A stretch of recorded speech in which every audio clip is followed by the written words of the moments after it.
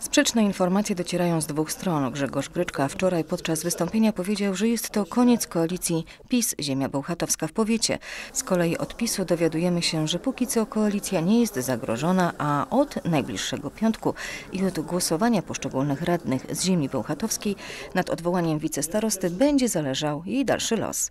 W najbliższy piątek Grzegorz Gryczka, co wydaje się niemal pewne, zostanie odwołany. Na tej sesji nie będą jednak przedstawione żadne kandydatury na to stanowisko. Te poznamy na sesji zaplanowanej na ostatnią środę maja.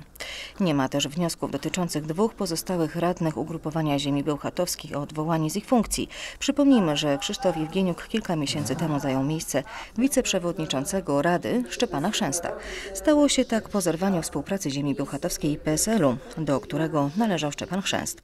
Natomiast Krzysztof Gajda, trzecia osoba z klubu radnych ziemi bełchatowskiej, jest członkiem zarządu powiatu.